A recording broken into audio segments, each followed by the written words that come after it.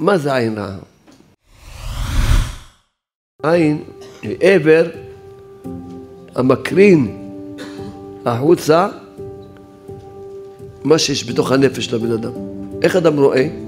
העיניים שולחים קרניים, הם פוגעים בדבר וחוזרים לבן אדם והוא רואה.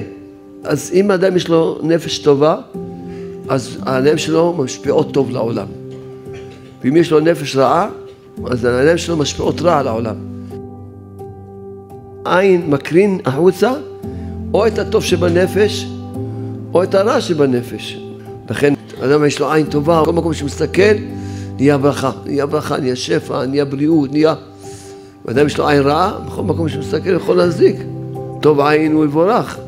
מה זה טוב עין? הוא רוצה שהאבא שלו יהיה לו טוב, שיהיה לו, שיצליח. לכן ראוי, לכן הוא מתברך.